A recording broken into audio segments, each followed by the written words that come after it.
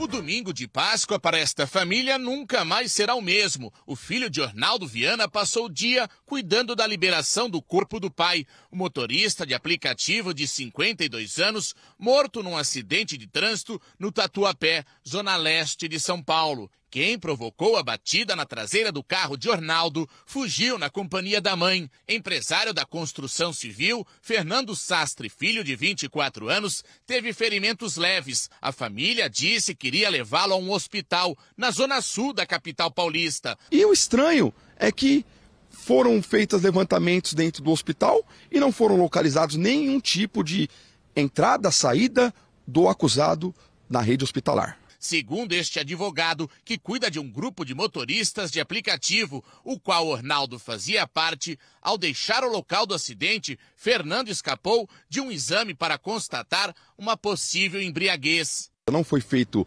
exame de etilômetro, não foi feito exames que deveriam ser feitos no momento do acidente. Datena, o caso foi registrado como homicídio culposo quando não há intenção de matar, lesão corporal e também fuga do local do acidente. Mas a Polícia Civil pode indiciar ainda hoje Fernando Sastre Filho por homicídio com dolo eventual, quando assume o risco de provocar o acidente com morte.